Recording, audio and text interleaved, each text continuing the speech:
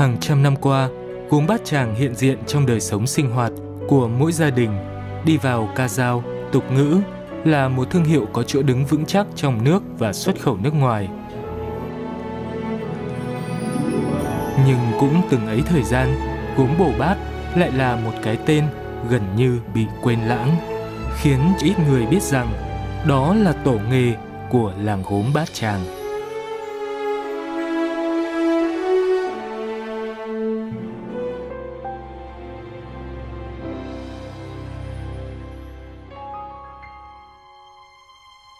Làng gốm Bồ Bát xưa, nay là làng Bạch Liên, thuộc xã Yên Thành, huyện Yên Mô, tỉnh Ninh Bình. Theo sử sách ghi lại, làng gốm Bồ Bát đã nổi danh cách đây hàng ngàn năm với những sản phẩm gốm sắc trắng độc đáo và nhiều chủng loại. Thời Lý Trần, những người thợ tài hoa của làng đã sáng tạo ra những sản phẩm cao cấp như gạch đất nung mang tên Đại Việt Quốc quân Thành Chuyên loại gạch chuyên dùng để xây thành. Bên cạnh đó, còn có không ít những di vật gốm tinh xảo như đầu rồng, mặt linh thú, bát đĩa, đồ gia dụng đã được tìm thấy khi khai quật khảo cổ tại khu vực đền Vua Đinh, Vua Lê. Gốm à, Bồ Bát thì về lịch sử của nó thì đã có 3.500 năm về lịch sử thế nhưng mà qua quá trình phát triển thì nghề gốm đã phát triển rực rỡ nhất vào cái giai đoạn thời ờ, vua đinh. Khi ờ, vua đinh dẹp loạn 12 sứ quân xong thì đã đưa cái người thợ gốm bổ bát để sản xuất ra những cái sản sản phẩm để phục vụ cho nhà vua.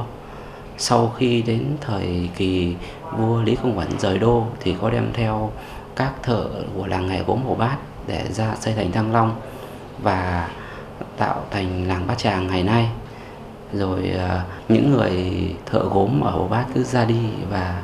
ngày một đông tại Bát Tràng và người dân Bồ Bát không còn phát triển đến nghề gốm nữa.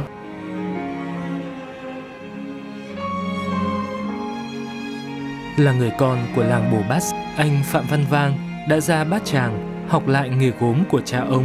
và trở về quê hương lập doanh nghiệp gốm Bồ Bát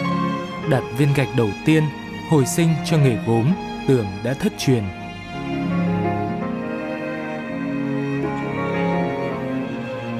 Với thương hiệu gốm bổ bát do bàn tay mình dày công gây dựng lại, trong suốt 10 năm qua, anh Vang đã nghiên cứu, mầy mò các kỹ thuật truyền thống của người xưa rồi truyền dạy nghề cho người trong làng với mong muốn cháy bỏng, khôi phục lại được nghề gốm truyền thống của quê hương.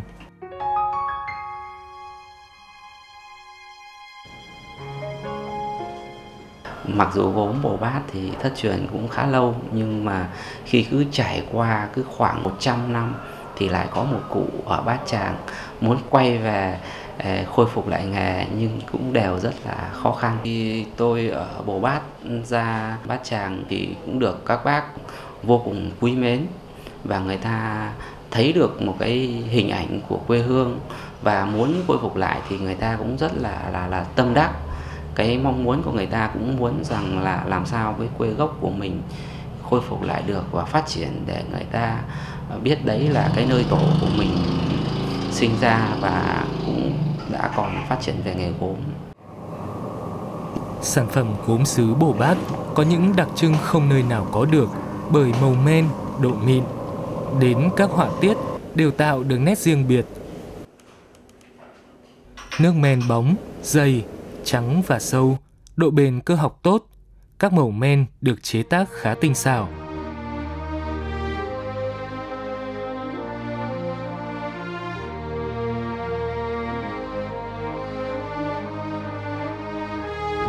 Ngoài những sản phẩm chính là gốm mỹ nghệ như chuông gió, vòng cổ, các sản phẩm như lọ hoa, ấm chén, bát, đĩa rất đa dạng về hình dáng. Đặc biệt là các họa tiết trang trí nghiêng về các mẫu họa tiết truyền thống, tinh tế, được thể hiện từ đôi bàn tay tài hoa của các nghệ nhân nơi đây.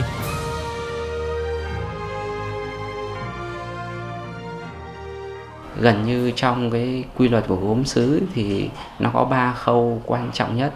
À, các cụ hay đọc là nhất xương nhì da, thứ ba là giạc lò nghĩa là đầu tiên thì phải là cái nguyên liệu đất nguyên liệu đất tốt thì phải tạo ra được cái sản phẩm tốt sau đó thì cái nước men cái nước men nó đẹp thì nó phải tạo ra được cái bề mặt sản phẩm bóng và, và đẹp.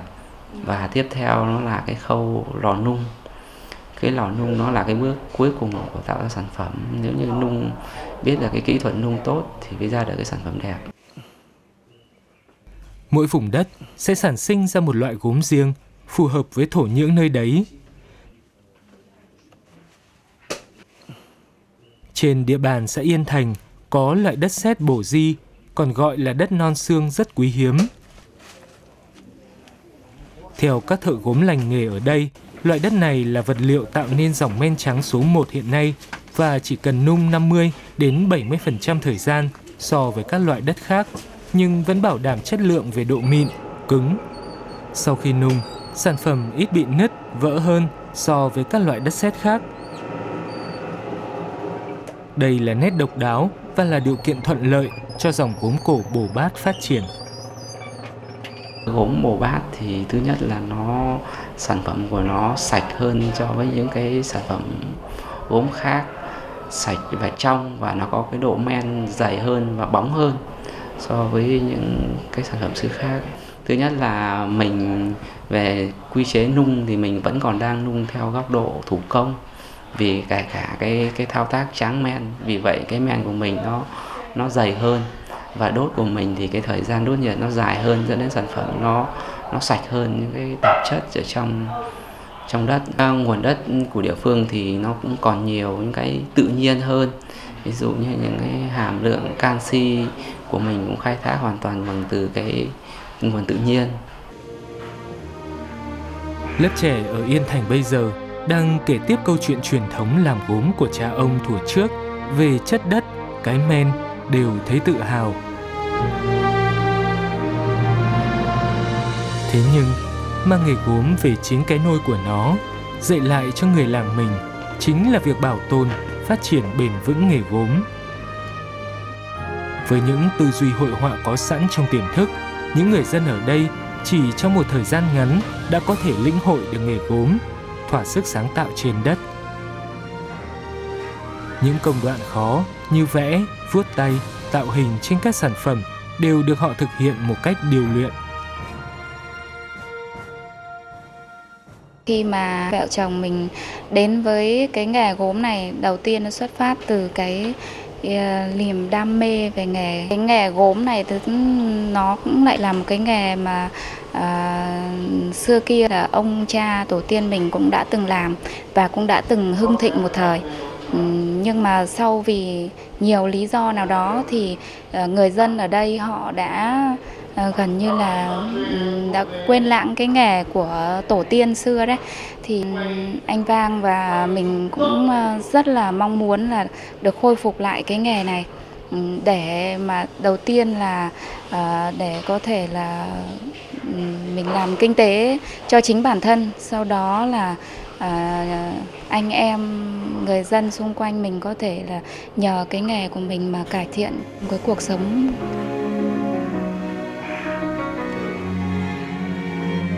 Niềm đam mê gốm của anh Phạm Văn Vang không biết từ lúc nào đã trở thành mong muốn của người dân làng mình, lấy nghề gốm của cha ông để phát triển kinh tế và cũng là để khôi phục và bảo tồn lấy làng nghề. Sau nhiều năm lăn lộn trên thị trường, vừa chế tác, vừa dò dẫm tiếp thị, tìm đầu ra cho sản phẩm, anh Vang trở về mở lò gốm ngay trên mảnh đất quê hương tạo công ăn việc làm thường xuyên cho khoảng 20 lao động.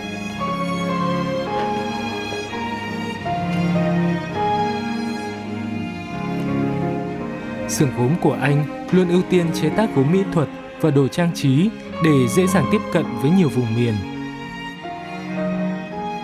Với hai dòng gốm sành nâu và gốm sứ trắng, các sản phẩm chủ yếu là vòng cổ, vòng tay, chuông gió, tranh gốm mỹ nghệ và tượng gốm nghệ thuật được trang trí bằng những họa tiết, hoa văn, chủ yếu là vẽ bằng men màu rất độc đáo.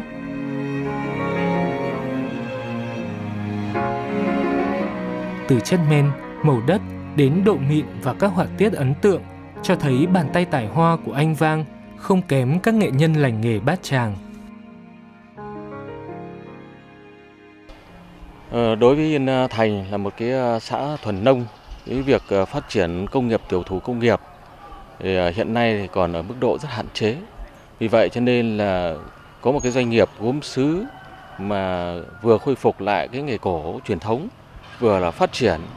thì sẽ đem lại cái công ăn việc làm cho những cái lao động mà được đào tạo chuyên nghiệp, có cái tay nghề ờ, cao. Đồng thời cũng là cái ờ, nghề gốm sứ là cái hàng ờ, công nghệ nó tiêu thụ nhiều. Chính vì vậy cho nên là nếu như doanh nghiệp gốm sứ Bồ Bát mà xây dựng xong nhà xưởng, phát triển cái quy mô sản xuất ở cái tầm lớn hơn thì sẽ có tăng cái thu nhập cho doanh nghiệp, đồng thời cũng là giải quyết công an việc làm cho lao động tại địa phương và từ đó thì sẽ có cái đóng góp nhất định đối với địa phương chúng tôi.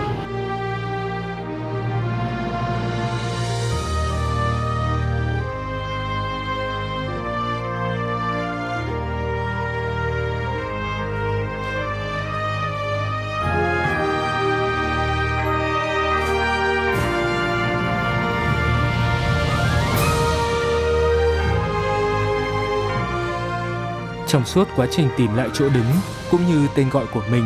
gốm bổ bát đã gặp không ít khó khăn.